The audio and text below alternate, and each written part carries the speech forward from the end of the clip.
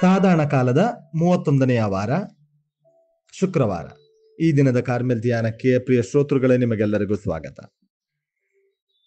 ಲೂಕನು ಬರೆದ ಪವಿತ್ರ ಶುಭ ಸಂದೇಶದಿಂದ ವಾಚನ. ಆ ಕಾಲದಲ್ಲಿ ಯೇಸು ತಮ್ಮ ಶಿಷ್ಯರನ್ನು ಉದ್ದೇಶಿಸಿ ಇಂತೆಂದರು. ಒಬ್ಬನು ಧನಿಕನಿದ್ದ, ಅವನ ವ್ಯವಹಾರಗಳನ್ನು ನೋಡಿಕೊಳ್ಳಲು ಒಬ್ಬ ಮೇಸ್ತ್ರಿ ಇದ್ದ.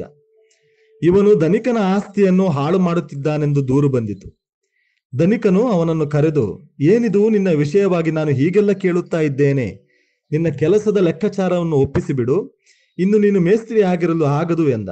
ಆಗ ಮೇಸ್ತ್ರಿ, ಈಗ ಏನು ಮಾಡಲಿ? ಯಜಮಾನನು ನನ್ನನ್ನು ಕೆಲಸದಿಂದ ತೆಗೆದು ಬಿಡುತ್ತಾನಲ್ಲ ಅಗೆಯಲು ಶಕ್ತಿ ಸಾಲದು, ಭಿಕ್ಷೆ ಬೇಡಲು ನನಗೆ ನಾಚಿಕೆ ಎಂದು ಚಿಂತಾಕ್ರಾಂತನಾದ. ಮರುಕ್ಷಣ, ಸರಿ, ಕೆಲಸದಿಂದ ನನ್ನನ್ನು ತೆಗೆದು ಹಾಕಿದ ಮೇಲೆ ಜನರು ನನ್ನನ್ನು ತಮ್ಮ ಮನೆಗೆ ಸೇರಿಸಿಕೊಳ್ಳುವಂತೆ ನಾನು ಏನು ಮಾಡಬೇಕೆಂದು ಈಗ ಗೊತ್ತಾಯಿತು ಎಂದುಕೊಂಡ. ಯಜಮಾನನ ಸಾಲಗಾರನನ್ನು ಒಬ್ಬೊಬ್ಬರನ್ನಾಗಿ ಬರಮಾಡಿದ. ನೀನು ನನ್ನ ಯಜಮಾನಿಗೆ ತೀರಿಸಬೇಕಾದ ಸಾಲ ಎಷ್ಟು? ಎಂದು ಮೊದಲನೆಯವನನ್ನು ಕೇಳಿದ. ಅವನು, ನೂರು ಬುದ್ದಲಿ ಎಣ್ಣೆ ಎಂದ. ಅದಕ್ಕೆ ಮೇಸ್ತ್ರಿ, ಇಗೋ ನಿನ್ನ ಪತ್ರ ಕುಳಿತುಕೊಂಡು ಐವತ್ತು ಎಂದು ಬೇಗನೆ ಬರೆ ಎಂದ. ಬಳಿಕ ಇನ್ನೊಬ್ಬನನ್ನು ಕರೆದು, ನೀನೆಷ್ಟು ಸಾಲ ತೀರಿಸಬೇಕು ಎಂದು ಕೇಳಿದ. ಅವನು, ನೂರು ಕಂಡುಗ ಗೋಧಿ ಎಂದಾಗ, ಇಗೋ ನಿನ್ನ ಪತ್ರ ಎಂಬತ್ತು ಎಂದು ಬರೆ ಎಂದ. ಈ ಅಪ್ರಾಮಾಣಿಕ ಮೇಸ್ತ್ರಿ ಮಾಡಿದ ಮುಂದಾಲೋಚನೆಯನ್ನು ಅವನ ಯಜಮಾನ ಪ್ರಶಂಸಿಸಿದ. ಏಕೆಂದರೆ ತಮ್ಮ ತಮ್ಮ ವ್ಯವಹಾರಗಳಲ್ಲಿ ಲೌಕಿಕ ಜನರು ಬೆಳಕಿನ ರಾಜ್ಯದ ಜನರಿಗಿಂತ ಜಾಣರು. ಪ್ರಭುವಿನ ಶುಭ ಸಂದೇಶ, ಕ್ರಿಸ್ತರೇ ನಿಮಗೆ ಸ್ಥಿತಿಯಾಗಲಿ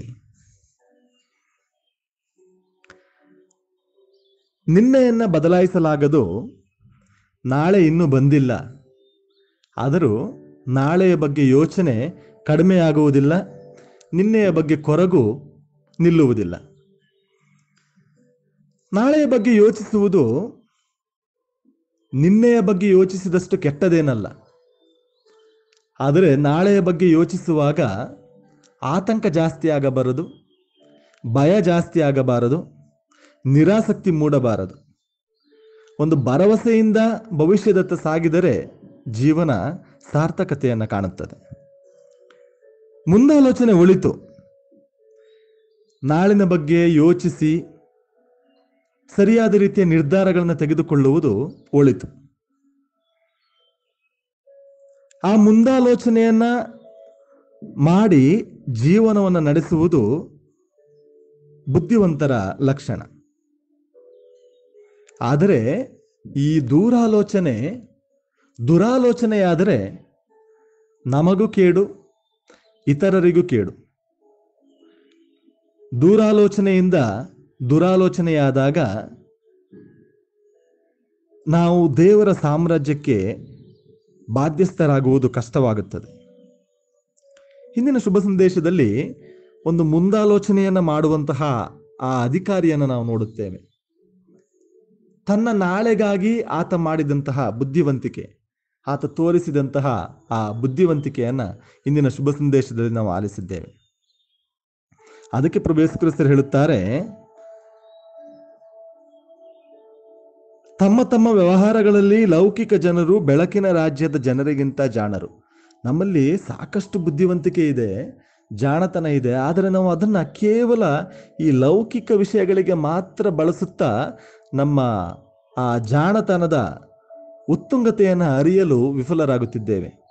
ನಾವು ನಿಜವಾಗಿಯೂ ಬುದ್ಧಿವಂತರಾಗಿದ್ದರೆ, ನಿಜವಾಗಿಯೂ ನಾವು ಜಾಣರಾಗಿದ್ದರೆ, ಆ ಬುದ್ಧಿವಂತಿಕೆಯನ್ನು, ಆ ಜಾಣತನವನ್ನು ಸ್ವರ್ಗ ಸಾಮ್ರಾಜ್ಯದ ವಿಷಯಗಳಿಗೂ ನಾವು ಅನ್ವಯಿಸಿದ್ದೇ ಆದರೆ, ನಾವು ಇನ್ನೂ ಹೆಚ್ಚಿನ ಶಾಂತಿ ಸಮಾಧಾನವನ್ನು, ಜೀವನದ ಸಾರ್ಥಕತೆಯನ್ನು ಕಂಡುಕೊಳ್ಳಲು ಖಂಡಿತವಾಗಿಯೂ ಸಾಧ್ಯವಾಗುತ್ತದೆ.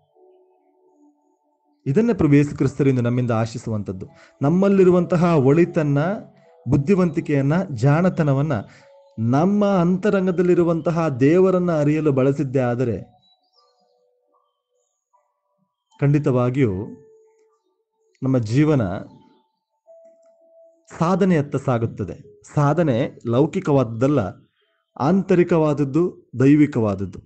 ಆ ದೈವಿಕ ಜ್ಞಾನಕ್ಕಾಗಿ ಹಾತೊರೆಯಲು ಪ್ರಭು ಆಹ್ವಾನಿಸುತ್ತಾರೆ. ಸೊಲೋಮೋನ ನಿನಗೇನು ಬೇಕು ಎಂದು ಕೇಳಿದಾಗ ಸುಜ್ಞಾನವನ್ನು ಬಯಸಿದ. ಆತನಿಗೆ ತಿಳಿದಿತ್ತು ಈ ಲೌಕಿಕ ವಿಷಯಗಳು ಕ್ಷುಲ್ಲಕವಾದವುಗಳು. ಆದ್ದರಿಂದ ಆತ ಸುಜ್ಞಾನಕ್ಕಾಗಿ ಪ್ರಾರ್ಥಿಸಿದ. ಹಾಗೆ ನಾವು ಸಹ ಸುಜ್ಞಾನಕ್ಕಾಗಿ ಪ್ರಾರ್ಥಿಸೋಣ. ಜ್ಞಾನ ಲೌಕಿಕ ವಿಷಯಗಳಿಗಾಗಿ ಮಾತ್ರವಲ್ಲ, ವಿಶೇಷವಾಗಿ ದೈವಿಕ ವಿಷಯಗಳಿಗೆ ಬಳಸಲ್ಪಡುವಂತಹ ಸುಜ್ಞಾನಕ್ಕಾಗಿ ಇಂದು ವಿಶೇಷವಾಗಿ ಪ್ರಾರ್ಥಿಸೋಣ. ಆಮೇನ್. ಇದು ಮೈಸೂರಿನ ಪುಷ್ಪಾಶ್ರಮದ ಬಾಲಯೇಸುವಿನ ಪುಣ್ಯಕ್ಷೇತ್ರದ ಕಾರ್ಮೆಲ್ ಸಭೆಯ ಯಾಜಕರ ಕೊಡುಗೆ. ಸರ್ವಶಕ್ತ ದೇವರಾದ ಪಿತಾ ಸುತ ಮತ್ತು ಪವಿತ್ರ ಆತ್ಮರು ನಿಮ್ಮೆಲ್ಲರನ್ನು ಹೇರಳವಾಗಿ ಹರಸಲಿ. ಆಮೇನ್.